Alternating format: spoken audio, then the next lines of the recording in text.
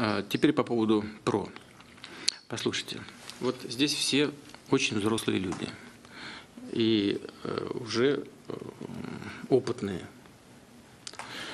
Мы с вами, я сейчас не буду просить, чтобы вы это все, вот так, как я скажу, отражали в своих материалах, влияли, влияли на, на прессу там или как. Я просто вам, вот знаете, хочу вам лично сказать, напомнить какие-то вещи. Ведь мир избавлен крупномасштабных а, войн и военных конфликтов. Мы с вами все об этом знаем. Благодаря так называемому стратегическому балансу, который был достигнут после того, как две суперядерные державы договорились фактически о сдерживании и в росте наступательных вооружений, и о сдерживании в системах противоракетной обороны.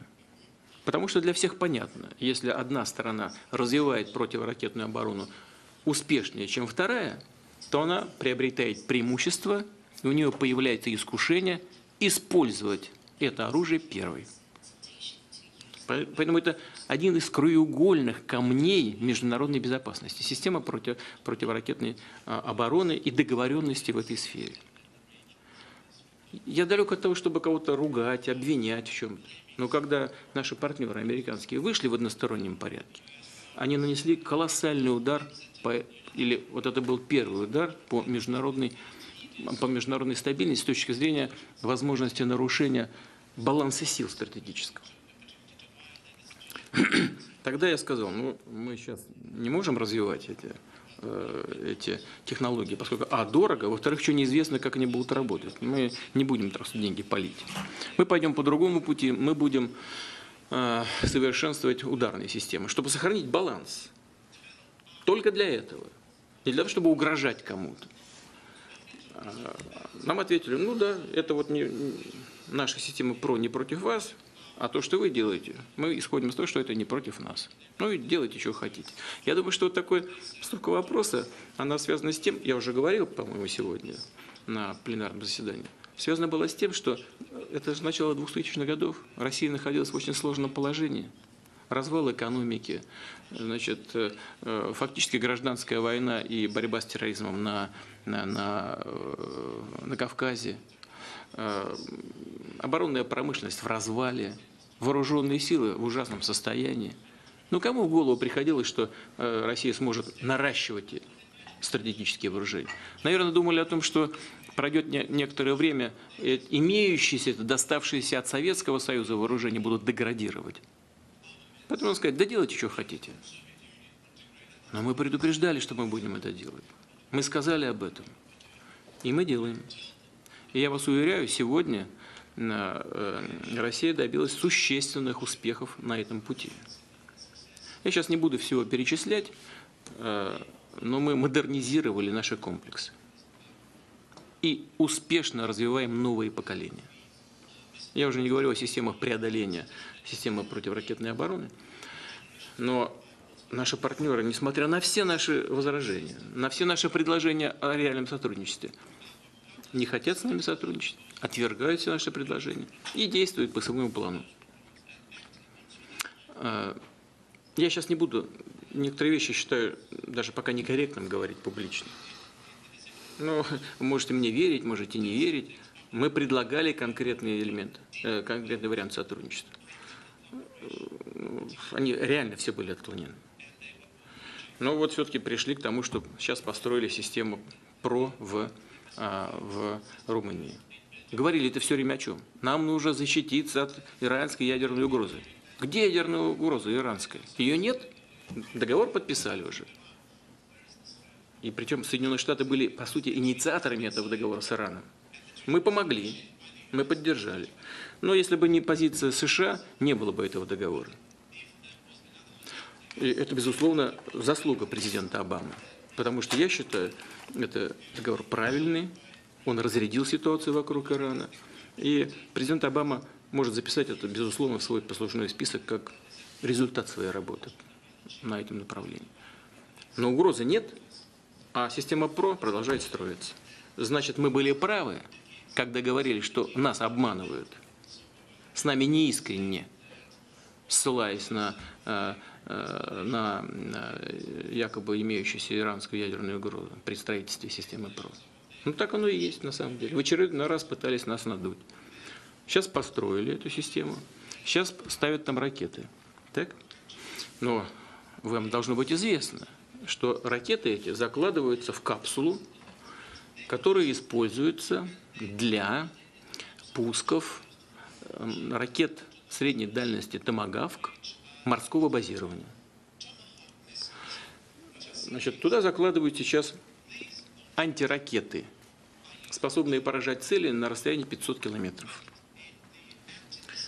Но мы знаем, технологии развиваются. Мы примерно знаем, в каком году примерно американцы получат новую ракету, которая будет уже не 500 километров, а 1000, а потом больше. И с этого момента они начнут угрожать нашему ядерному потенциалу. Мы, мы по годам знаем, что будет происходить. И они знают, что мы знаем. Это вам только вешают лапшу на уши, как у нас говорят. А вы, в свою очередь, вешаете своему населению. И люди не чувствуют опасности. Вот меня что беспокоит. Ну как, вот, как мы не можем понять? Мы, мы тащим мир вообще в, в совершенно новое измерение. Вот в чем проблема.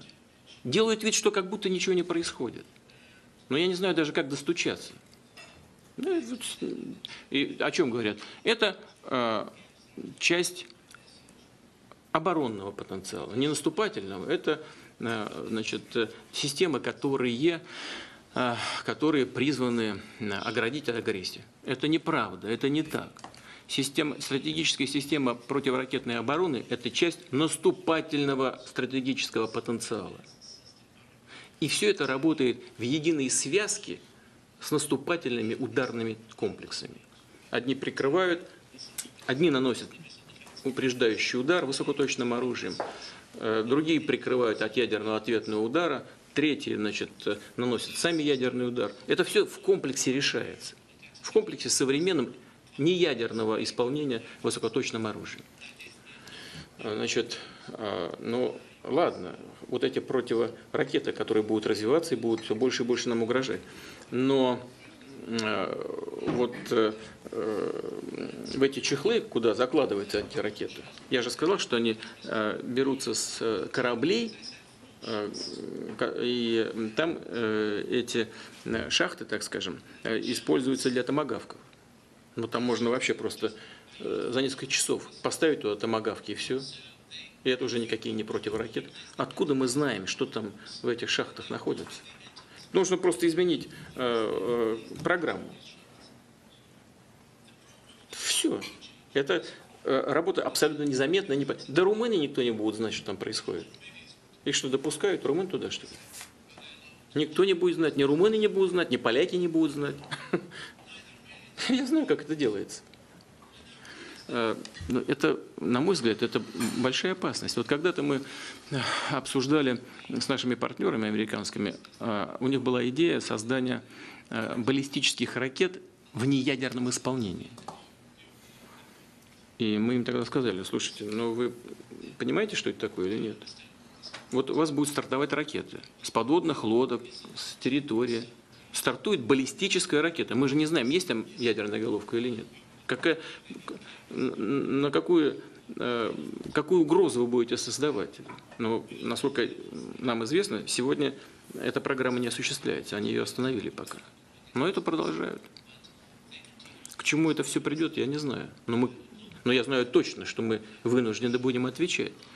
Только я уже заранее знаю, чтобы нас будут обвинять в агрессивном, опять в агрессивном поведении, хотя это только ответ. Но ясно, что мы э, должны будем обеспечить безопасность. Не только свою.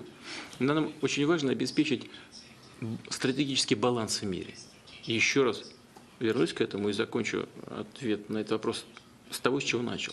Вот именно этот стратегический баланс обеспечил, гарантировал мир на планете, э, гарантировал нас от крупных вооруженных конфликтов за последние 70 лет. И это благо хоть оно такое, знаете, основанное как бы на взаимной угрозе, но тем не менее взаимная угроза, она обеспечила нам глобальный мир на протяжении десятилетий. Как его можно разрушить, так я не, не знаю. Мне кажется, что это очень опасно. Не только кажется, я в этом уверен. Да, Соединенные Штаты не разрабатывают якобы наступательного оружия. Во всяком случае, общественности об этом не- неизвестно. Хотя наверняка разрабатывают. Но мы даже сейчас спрашивать об этом не будем. Мы знаем, что разработки идут. Но мы сейчас сделаем вид, что мы об этом не знаем. Не разрабатывают. Но что мы знаем? Это то, что в Соединенных Штатах активно разрабатывается и уже внедряется система противоракетной обороны. Да, сегодня она неэффективна, и мы точно не знаем, будет ли она вообще когда-нибудь эффективна. Но а, теоретически она ведь для этого и создается. Значит, опять же, гипотетически мы исходим из того, что когда-то наступит момент, когда а, м, возможная угроза со стороны наших ядерных сил будет полностью нейтрализована. Сегодняшних ядерных сил России. А если это так, то это означает, что баланс будет абсолютно нарушен. И что у одной из сторон возникнет ощущение полной безопасности. А значит, это развязывает ей руки не только в локальных, а возможно уже и в глобальных конфликтах. Мы же с вами сейчас дискутируем. Я не хочу никого подозревать в какой-то агрессивности. Но система отношений – это так же, как математика. Она не имеет личного измерения. И мы должны, конечно, на это реагировать. Как? Или так же, как вы, и строить многомиллиардную противоракетную систему, систему противоракетной обороны, либо, имея в виду наши возможности сегодняшние, энерги- э, э, экономические, финансовые, ответить асимметрично, чтобы все поняли, что да, система противовоздушной, противоракетной обороны есть, но она в отношении России бессмысленна, потому что у нас есть такое оружие, которое легко преодолевает. Вот мы по этому пути и пойдем. Это дешевле для нас. Но это никак не направлено против самих Соединенных Штатов. Я полностью согласен с... э, если вы говорите, что система ПРО не направлена против нас, то и наше новое оружие не направлено против вас.